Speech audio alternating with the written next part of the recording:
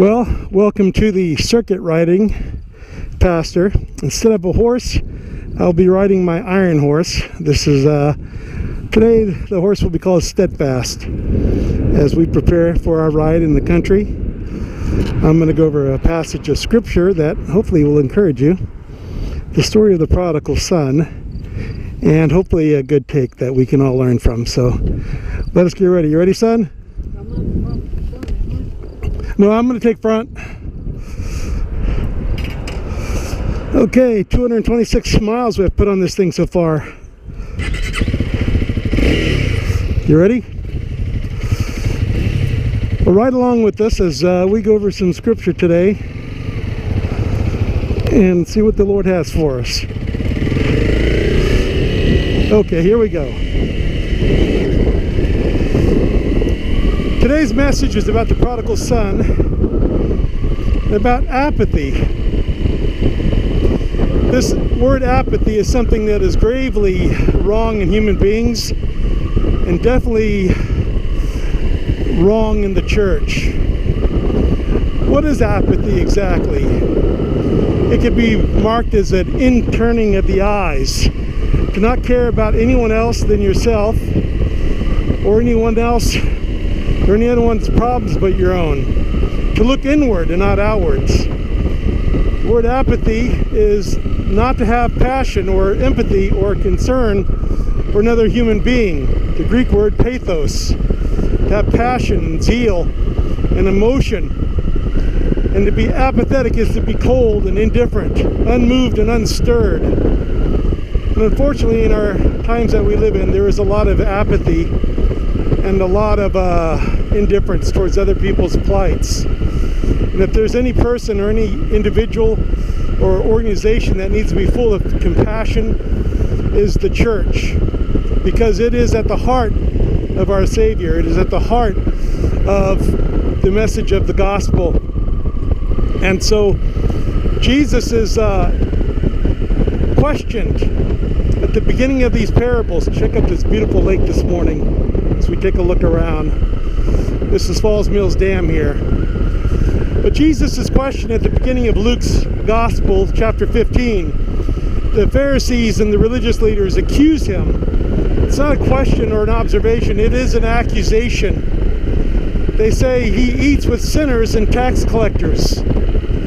This is not just, again, an observation, but rather they're making a statement concerning his moral character, about his righteousness, because he's choosing to fellowship with those that are, in the eyes of the church or the religious leaders, to be sinners. And through this accusation towards Jesus, he begins to share um, really about the heart and the nature of the kingdom of God. He shares that the in three parables, two parables are pretty brief and short, and they cut to the quick and then a longer parable, the third one, which is the prodigal son. But the first one is about the man with the 99 sheep.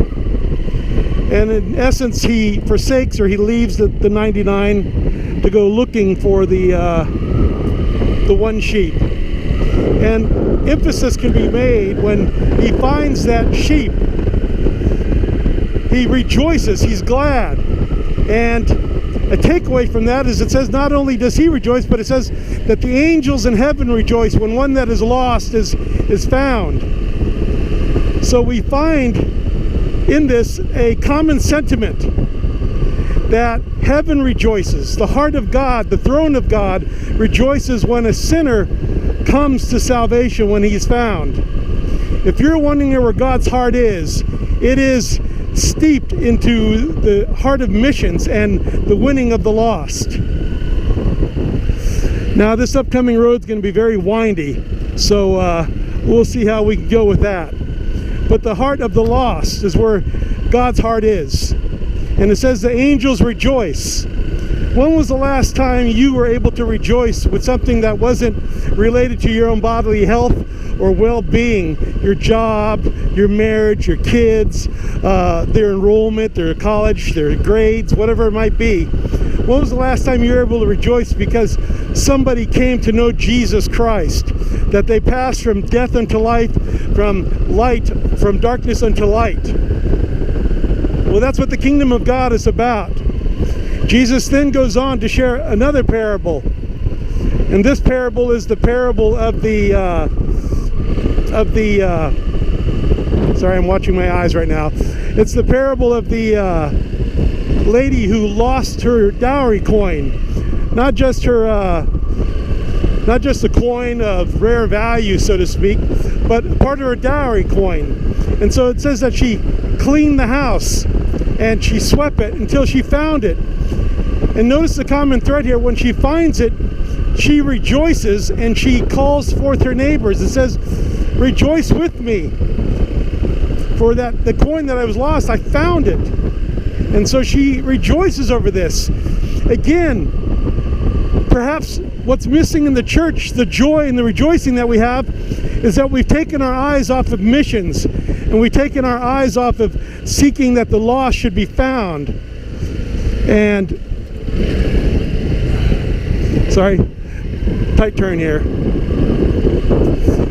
That our eyes have been lost off the mission. We've only got eyes for our own self, for our job, our well being, our blessings, our benefits, our calling, our kids, our family. And no eyes that point outwards towards those that are lost. So there's a rejoicing there, but finally, we get into another tale of where apathy is seen, not only in one son, but in the other. Now, we all readily identify with this first son, this, uh, I'm waiting on Henry to catch up. This first son who uh, tells his father, Father, give me what is mine that I can leave. Augustine calls this place the far country is in his heart. Before he ever left or stepped a foot out the door, he had already determined that he was going. This is the place of the heart. And as Pastor Mark Rutland said, the heart of the matter is the matter of the heart. And once again, we see a son who's not concerned about his father, but his eyes are only towards himself and what he wants and what he needs. And you'll see this is even true in his repentance. Because he goes off to this far country and he begins to squander all that he has on riotous living, whatever that might be. But he spent it on himself and selfish pursuits. His eyes were not towards righteousness or towards his father, but only what he wanted to do. And it says after some time, we don't know how long, the parable kind of indicates that his father was wealthy, and so it took some time. And so his son begins to uh, come to a point of need. There's famine in the land, there's perhaps a drought, unemployment. And so he finds himself in need and in want. And he says to himself, Man, those pigs, man, I wish I could eat what they got. Now, granted, we look at how dis- distasteful that would be as a, uh, a Jew, but I want to tell you, as a Gentile, I don't like the idea or the prospects of eating pig husks either. But he's at this place and he comes to himself, the scripture says. And he says, I'm going to go to my father. Are not his servants better fed than this? And I will go and tell my father that I'm unworthy. And I'm going to repent and tell him, Lord or Father, take me in as one of your servants. And he goes back to his father. And for a moment now, let us look at the eyes of the father. The father is sitting there on the porch and he sees his son from afar off. We got to stop before we jump into the story of what the prodigal is doing, coming to his father. And let us stop and observe what the father is doing.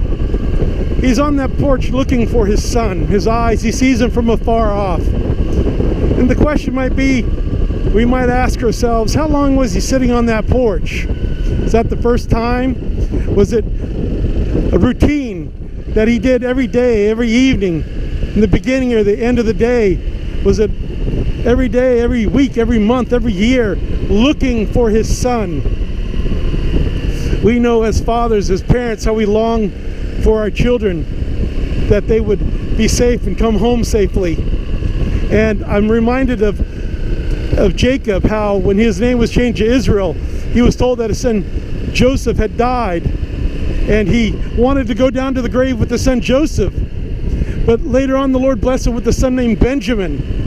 And when Joseph tested his brothers, he said, Bring Benjamin here. And the brothers reasoned, they said, We can't let anything happen to Benjamin because our father's life is bound to the boy. If something were to happen to Benjamin, our father would go down to the grave. And you think about how a parent longs for um, their children and how that father must have been sitting on that porch day in and day out, looking and longing, hoping that his son would come home. That is the heart of the father. And when the son comes, he says, Father, I'm unworthy. And his father hears nothing of it. He, he falls and he kisses him and he grabs him and he says, Put shoes on his feet and put a robe on him. I don't know if he came home barefooted, if he was unrobed, but his father sees to his need and he clothes his son and he says, Kill the fatted calf. Macedonia United Methodist Church. He says, Kill the fatted calf, for my son who was dead is now alive. And they begin to make merriment, and there's, there's the music and the dance and the instruments, and the father is rejoicing.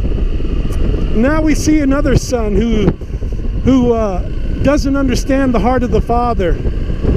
He's out in the field and he comes in and he's wondering what's going on and he calls a servant and says, Hey, what, what's that smell? What, what's daddy cooking up the lamb? What's going on? And why do I hear music and, and, and festivity? And they go, Oh, your brother who is gone has returned, and your father's ordered the killing of the fatted calf and rejoicing. And the son, the older son, the, the dutiful, obedient son, is upset. He's angry, it says. And he he won't go in.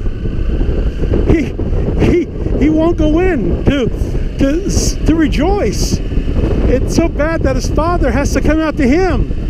He throws a party, a pity party, or a tantrum, and he stays out in the barn. Maybe he's sharpening the the tools, or or patting down, or, or petting down, or uh, rubbing the oxen, or whatever you might do out in the barn. But he he won't come out. And so his father has to go out to him. And he says he entreats him. This older son never put two and two together. How his father maybe had blank stares at the dinner table. How there was a spark out of his eye. How he sat out on the porch every evening. How his father seemed to have uh, a look of, um, of concern in his face day after day after day. Maybe he saw it and he, he tied it to the idea that his brother left. But after a while, he no longer cared. He, he no longer cared about his father's feelings and about how he was worried about his, his young son. But rather, he just saw himself and said, Father, you know, I've always did everything you told me. I went to church. I got good grades in school. I ever did everything right. I got a job. I played by the rules. But you never gave me a fatted calf for me and my buddy. See, his eyes are on himself, not on the heart of the Father not on the heart of the lost. And so he only sees his own his own lack, his own need, his own desires, his own cravings. He doesn't see what the Father's been going through. Neither that, not only has he not seen it, he hasn't shared in it. He can't share, he hasn't shared in the breaking, therefore he can't share in the rejoicing. And he says, This son of yours, he didn't even refer to him as his brother, but this son of yours who squandered all that wealth, who squandered all the possessions. When he returns, he, he, dug, he dragged your name through the mud, Dad. He made us look bad and he squandered everything. And the father says, Listen, son, you've always been with me. What mine, what's mine is yours. But then he says, This brother of yours who was lost. He reminds him that the lost are kin we are all sons of Adam. We are all fallen in, into this corrupt and sinful world, and we must rejoice when one of us come home, and we must weep when they don't, and sit on the porch and pray for them and intercede. So the question might be that we might ask, when was the last time you prayed for the lost? When was the last time you wept for those who are wayward in the far country? When was the last time you interceded, wept, and cried? When was the last time you rejoiced and looked for opportunities to share your faith? Have you not seen your Father? Have you not seen what He did on the cross? Not just for you and not just for me, but the mass of humanity that currently are walking in rebellion, who do not know Him, who are eating the food of pigs, and are living a lost lifestyle. Do we not grieve? Do we not mourn? Do we not tarry for them in prayer? May we be found as Jesus was, eating with sinners and tax collectors, that we might not exchange one position as the younger son who comes back to God only to become the other son, who becomes now faithful in church and faithful in Sunday school and faithful in tithing, but yet not broken by the heart of God, not concerned for the lost. May we be found as Jesus, a friend of sinners. And may we weep, and may we plead, and may we intercede for them. That is uh, the daily rider, the circuit rider's message for today. As we are riding on these curvy roads, going who knows where. and I hope you enjoyed it. Well, may God bless you, may God keep you, and may He make His face shine upon you. This is just Brother James, a fellow servant of the Lord Jesus Christ. May we labor together until he comes. God bless you.